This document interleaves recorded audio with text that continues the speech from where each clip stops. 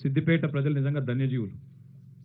ఈ గడ్డకే ఒక ధన్యత వచ్చింది. ఎందుకంటే తెలంగాణ సాధకుడిగా తెలంగాణ ఉద్యమ నాయకుడిగా ఈ ప్రాంతం నుంచి ఉద్భవించి మొత్తం తెలంగాణ జాతికి దిశానిర్దేశం చేసిన మాన్యులు ముఖ్యమంత్రి వర్యులు ఈ ప్రాంతం నుంచి రావడం వారి తర్వాత అంతే సమర్థవంతంగా సిద్దిపేట నియోజకవర్గాన్ని సిద్దిపేట జిల్లాని ఈరోజు అభివృద్ధి పదంలో మొత్తం రాష్ట్రం మొత్తం కూడా అబ్బురపడే విధంగా తీర్చిదిద్దుతున్న హరీష్ రావు గారు వారి నాయకత్వంలో ఈరోజు ఒక లక్ష పదివేల ఎకరాలకు నీళ్ళు రాబోతా ఉండడం అంటే ఈ జిల్లాకు ఇది సామాన్యమైన విషయం కాదు.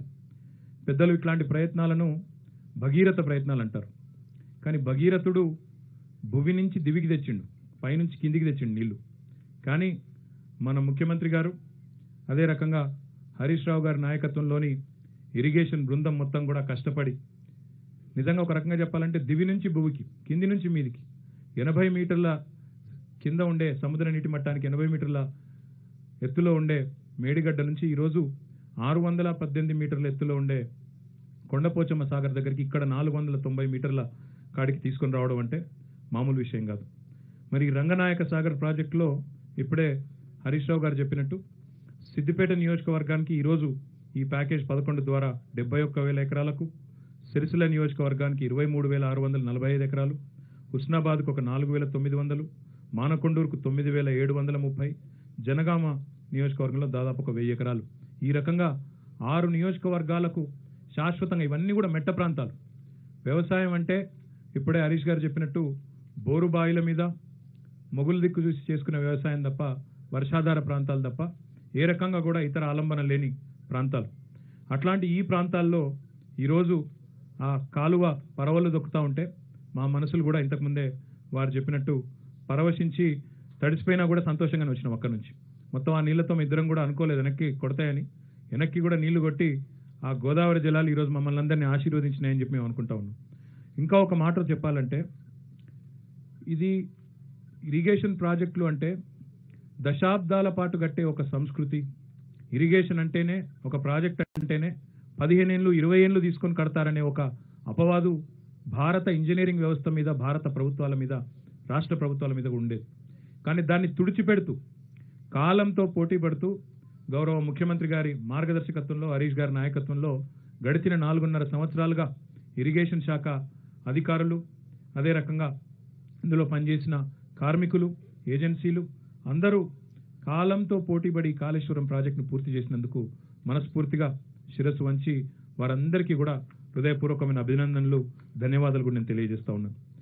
మెదక్ జిల్లా పేరే పూర్వ మెదక్ జిల్లా పేరే మెతుకు సీమ అనే పదం నుంచి వచ్చింది. మెతుకు అనే పదం నుంచి వచ్చిందే మెదక్.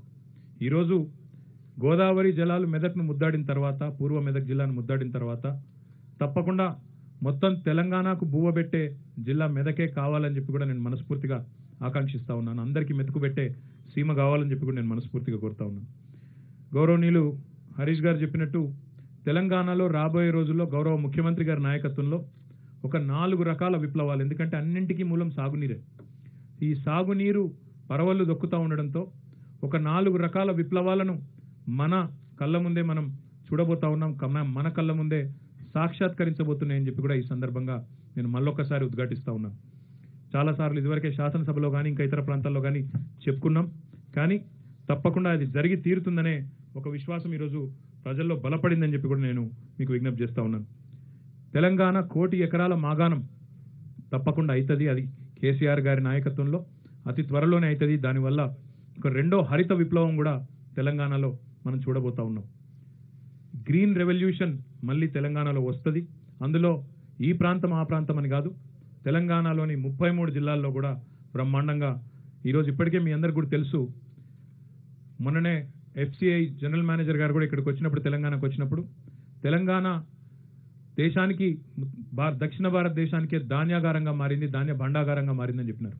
భవిష్యత్తులో కోటి ఎకరాల మాగాణంగా మారిన తర్వాత మొత్తం దేశానికే ఆదర్శవంతమైన వ్యవసాయం ఆదర్శవంతమైన రైతాంగం ఆదర్శవంతమైన సాగునీటి మరి వినియోగం అనేది ఎక్కడ ఉంది అంటే తెలంగాణలోనే ఉంది అని చెప్పే పరిస్థితి కూడా ఈ రెండో హరిత విప్లవం ద్వారా వస్తుందనే సంపూర్ణమైన విశ్వాసం నాకుంది. మనం కట్టే ప్రతి ప్రాజెక్టులో గౌరవ ముఖ్యమంత్రి గారు చాలా స్ఫూర్తివంతంగా ఆలోచనతో అన్ని చెరువులను కూడా నింపే ప్రయత్నం చేస్తూ ఉన్నారు. తద్వారా ఈరోజు తెలంగాణలో కేవలం హరిత విప్లవమే కాదు ఒక నీలి విప్లవం కూడా ఒక బ్లూ రెవల్యూషన్ కూడా రాబోతా ఉంది. తెలంగాణలో మత్స్య సంపద అపారంగా పెరిగి కేవలం తెలంగాణలోని మన ప్రజలకే కాదు భారతదేశం మొత్తానికి ఇంకా బయటి వారికి కూడా అందించే శక్తి సామర్థ్యాలు కూడా మన మత్స్య కార్మికులు మన మత్స్య పరిశ్రమ సంతరించుకుంటుందనే బలమైన విశ్వాసం కూడా నాకు ఉందని చెప్పి కూడా ఈ సందర్భంగా నేను మీకు విజ్ఞప్తి చేస్తా ఉన్నా. దాంతోపాటు తెలంగాణలోని పాడి రైతులు తప్పకుండా ఈ హరిత విప్లవాన్ని అందిపుచ్చుకొని ఒక క్షీర విప్లవాన్ని ఒక శ్వేత విప్లవాన్ని కూడా తీసుకొస్తారనే బలమైన విశ్వాసం కూడా నాకుంది. పాడి పంట రెండు కలిసి మెలిసి బ్రహ్మాండంగా రాబోయే రోజుల్లో ఒక అద్భుతమైన దృశ్యం తెలంగాణలో ఆవిష్కరించబడుతుంది. అది కూడా కేసీఆర్ గారి ఆలోచనకు అనుగుణంగా గ్రామీణ ఆర్థిక వ్యవస్థ తెలంగాణలో పరిపుష్టం చేస్తూ అన్ని కుల వృత్తులను బలోపేతం చేస్తూ గ్రామాలన్నింటిని కూడా ఆర్థికంగా పరిపుష్టం చేసే దిశగా ఈ కార్యక్రమం సాగుతుందన్న విశ్వాసం కూడా నాకున్నది. దాంతోపాటు ఒక పింక్ రెవల్యూషన్ కూడా తెలంగాణలో వస్తుంది. పింక్ రెవల్యూషన్ అంటే టీఆర్ఎస్ రెవల్యూషన్ కాదు అది ఇప్పటికే వచ్చింది. పింక్ రెవల్యూషన్ అంటే ఈ గొర్రెల పెంపకం కార్యక్రమం ద్వారా ఏదైతే మాంసోత్పత్తి ప్రక్రియకు బీజం వేయడం జరిగిందో గౌరవ ముఖ్యమంత్రి గారు తప్పకుండా దానివల్ల ఒక పింక్ రెవల్యూషన్ ఒక గులాబీ విప్లవం కూడా వస్తుంది. ఈ నాలుగు రకాల రెవల్యూషన్లతో గ్రీన్ బ్లూ వైట్ పింక్ ఈ నాలుగు రకాల రెవల్యూషన్లతో తెలంగాణ భారతదేశానికే ఆదర్శంగా నిలబడే ఒక అగ్రశ్రేణి రాష్ట్రం అవుతుందనే ఒక బలమైన విశ్వాసాన్ని కూడా ఈ సందర్భంగా నేను వ్యక్తం చేస్తూ ఉన్నాను. గోదావరి జలాలు ఈ ప్రాంతానికి రావడం అంటే సామాన్యమైన విషయం కాదు. తప్పకుండా మరి ఈరోజు ఇక్కడికి చేరిన గోదావరి రేపు కొండపోచమ్మకు వచ్చి మల్లన్న సాగర్ను నింపి ఈ మొత్తం పూర్వ మెదక్ జిల్లాను ముద్దాడి ఈ పూర్వ మెదక్ జిల్లా రైతాంగం మొత్తం కూడా పులకరించిపోయే విధంగా ఒక అపురూపమైన దృశ్యం అతి అతి తక్కువ సమయంలోనే ఆవిష్కరించబడుతుందని చెప్పి కూడా నేను మీకు మళ్ళొక్కసారి గుర్తు చేస్తూ మరి కాళేశ్వరం ప్రాజెక్టు ద్వారా కేవలం కొత్త ఆయకట్టే కాదు ఎస్ఆర్ఎస్పి లాంటి గతంలో మేజర్ ఇరిగేషన్ ప్రాజెక్టు మనకు ఉన్నప్పటికీ అందులో మరి నీళ్ళు రాక పైనుండి ఇబ్బంది పడుతున్న ఆ ఆ- ఆ రా- ఆ రైతాంగం మొత్తానికి అండగా నిలబడి ఎస్ఆర్ఎస్పి పునరుజ్జీవం చేసిన నిజాం సాగర్ ప్రాజెక్టును ఈరోజు పూర్తి స్థాయిలో దానికి ఒక అండగా నిలబడే ప్రయత్నం కూడా చేస్తున్నాయి ఇవన్నీ కూడా తద్వారా ఒక్క కాళేశ్వరం ప్రాజెక్టు ద్వారా పూర్వ తెలంగాణలోని పూ- తెలంగాణలోని పూర్వ జిల్లాలైన ఒక ఆరేడు జిల్లాలకు ఒక అద్భుతమైన మరి ఆలంబనగా ఒక అండగా కాళేశ్వరం ప్రాజెక్టు రా నిలవబోతా ఉన్నది.